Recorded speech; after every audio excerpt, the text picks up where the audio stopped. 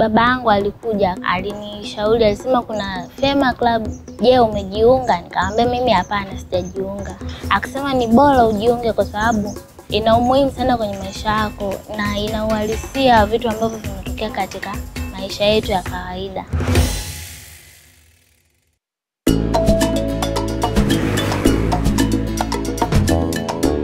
Natambua changamoto kubwa ambazo nilikuwa nazipata. Katoka mjini, kaja na simu, kaja na laini. Hizo kiukweli ilikuwa changamoto kubwa sana ambazo nilikuwa napambana nazo. Walimu ambao nilikuwa nawasiliana nao kule ndo walimu pia wapo kwenye Fema, basi nimjumuishe mwanangu awe kwenye hilo kundi la Fema.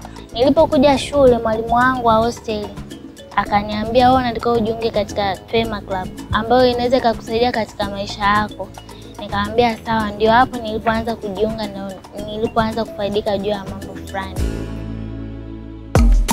Najifunza jinsi ya kuwekeza fedha au kufanya biashara yoyote. Ndio maana hata kwenye jarida huwa kuna Anko Pesa, waga tunapenda kumuuliza maswali mbalimbali juu ya biashara au jambo lote ambalo linatutatiza au tunapotaka msaada juu kuanzisha biashara au kuanzisha chanzo chochote ambacho kinaweza kikatupatia kipato sisi.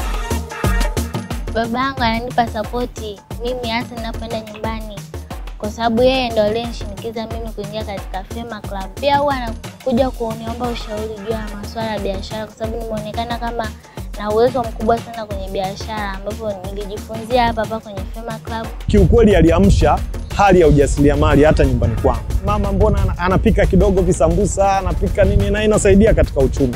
Na hata pale shuleni nimeona kwenye kundi wakiwa na vitukio tukio vyao wanatengeneza hata vibites, na anawasaidia sana, na hadi sasa hivi naona hata sisi walimu tukipata shughuli unakuta naye yumo. Kiukweli kama mzazi mlezi, najisikia vizuri sana. Mafanikio ambayo tumeweza kuyapata ni kupata club members wengi ambao tunaendelea kuinua klabu yetu ya Fema. Nashukuru sana Fema na nawaunga mkono kwenye harakati zenu zote za kuwasaidia mabinti na vijana wetu ili tuwe na Tanzania iliyo bora.